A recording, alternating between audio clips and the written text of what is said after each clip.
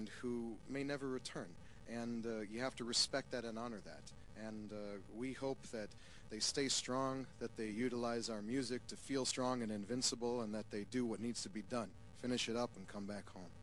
Finish it up. How many friends do you guys have on MySpace, actually? Oh, God, what's the number? It's over 600,000, I'm pretty sure.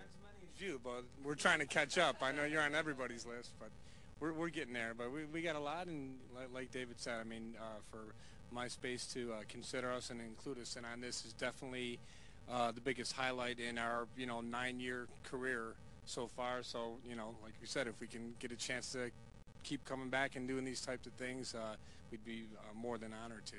And I'll be right there with you guys. I'll come back with you guys as well. We're going to give it back to Carlos. Take it over, baby.